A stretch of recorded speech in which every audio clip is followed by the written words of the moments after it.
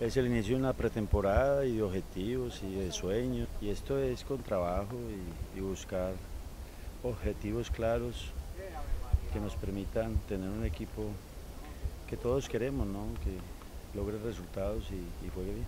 ¿Cuáles son precisamente esas expectativas que usted trae como nuevo técnico del Deportivo Cali?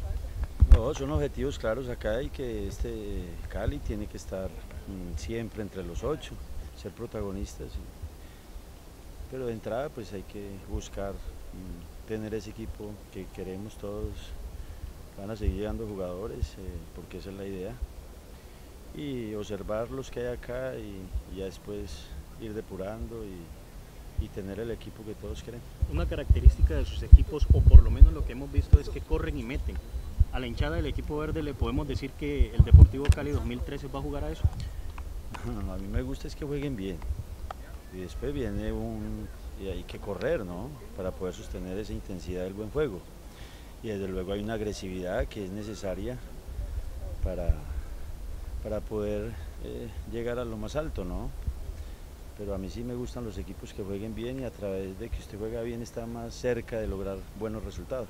En cuanto a posiciones, profe, ¿usted buscaría defensas, volantes, delanteros? ¿Qué es lo que desde su concepto necesita más el equipo en este momento?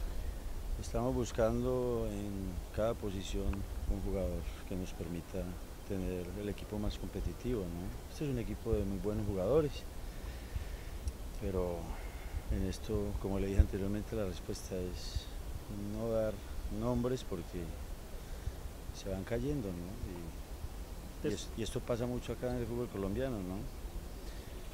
O los encarecen porque es el Cali y, y piden más, entonces no se, no se pueden dar nombres ahora.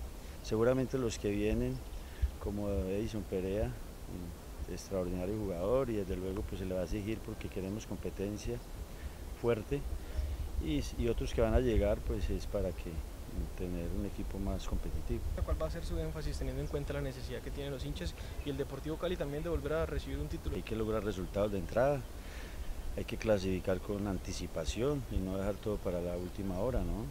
Entonces, mm, desde luego para poder lograr eso se necesita jugar bien.